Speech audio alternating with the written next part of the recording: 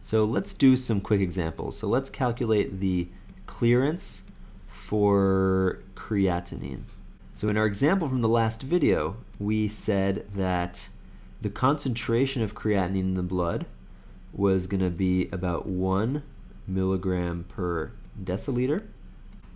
And we said that as a result of that, the amount of creatinine that you're going to urinate out per minute is going to be about 1 milligram per minute. And so if you take care of all the units here, you end up finding that this is equal to 1 deciliter per minute, which in terms of milliliters is 100 milliliters per minute. And what you might notice is that this 100 milliliters per minute is actually something special. That's actually equal to the GFR. We said this person had a GFR of 100 milliliters per minute.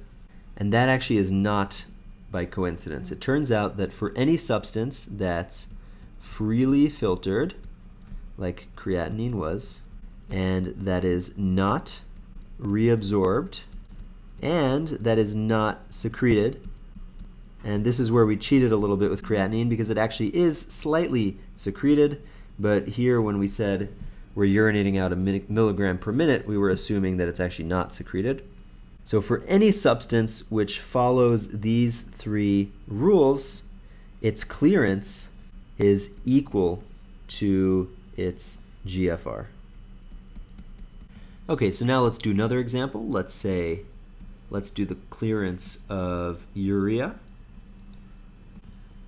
So in this case, the example numbers that we gave last time were to say maybe you would excrete 5 milligrams per minute and the concentration in the blood was 10 milligrams per deciliter.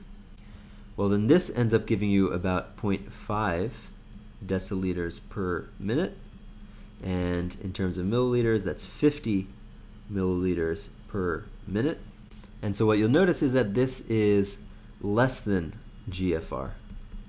And so the idea is that the clearance of urea is less than the clearance of creatinine. And on an intuitive level, that makes sense. And the reason is when you filter urea in the glomerulus, some of that gets reabsorbed. So not everything gets excreted. So because of that, you're clearing out your blood less efficiently than you would if none of it was reabsorbed.